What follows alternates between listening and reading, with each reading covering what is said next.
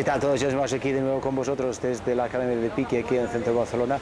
Um, hoy quería hablar un poco de um, un ejercicio que utilizo bastante con los alumnos para ayudarles a, a, a, evitar que los brazos estén excesivamente doblados en el momento de impacto con un golpe, un golpe entero um, y cómo pueden llegar a tener los brazos un poquito más estirados en, esta, este, este, este tramo del swing.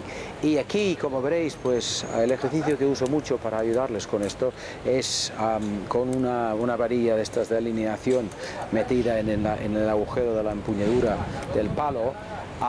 Y el objetivo aquí, quizás, primero, haciendo swing sin bola, es evitar que la varilla toque el, el, el, lado, el, lado, izquierdo de tu cuerpo, ¿vale?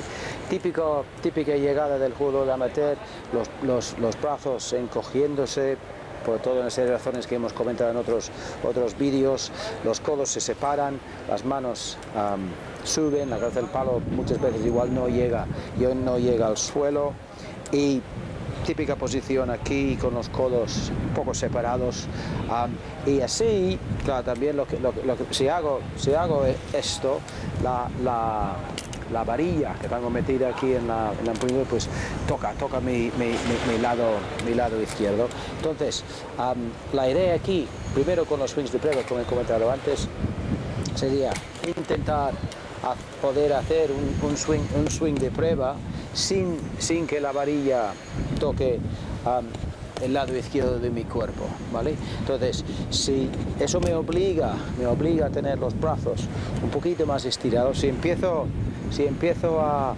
a, a doblar los, los brazos, si empiezo a, a querer a dejar que la muñeca derecha pase, perdón, la mano derecha pase por delante de la, de la mano izquierda, aquí me, va a empezar a dar enseguida, ¿vale?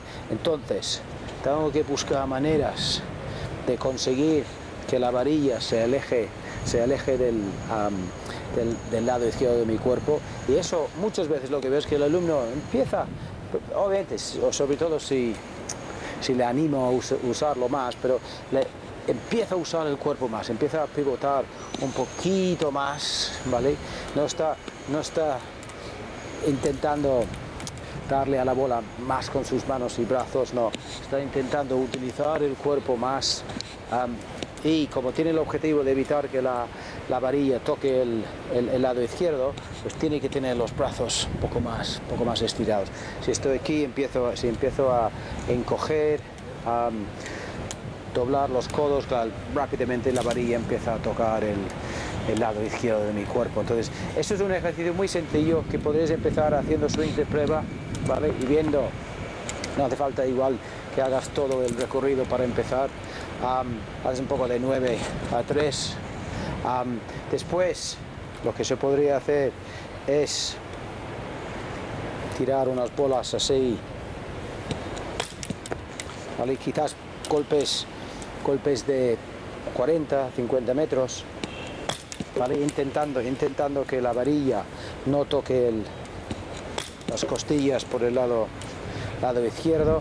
Si, intento darle con las manos y los brazos, enseguida, enseguida, la varilla empieza a, a, tocar el cuerpo, ¿vale? Entonces el, el jugador tiene que aprender a, a, hacer participar mucho más su, su cuerpo en el, en el, en, el, en el, movimiento para conseguir que las, las, manos estén más adelantadas respecto a la cabeza del palo y, el, y, y los brazos más estirados, ¿vale? Pruébalo, es, un, es un, un, un ejercicio que uso mucho con los alumnos para ayudarles a a, estar, ser un poco más conscientes de, cómo llegan y qué es lo que tienen que hacer para, para mejorar un poco esa, esa llegada y la presentación del palo en el momento de impacto. Muy bien, muchas gracias como siempre por ver los vídeos y de equipo que estoy con vosotros. Adiós. Muchas gracias por haber visto el vídeo. Si te ha gustado, hazme un, un, clic en el botón de me gusta abajo y también en, el, en la campana de notificaciones, así recibirás un mensaje uh, cada vez que suba un vídeo al canal. Y si no lo has hecho todavía, por favor, suscríbete al canal y así también estarás al, al corriente de todos los vídeos que subo. Muy bien, muchas gracias.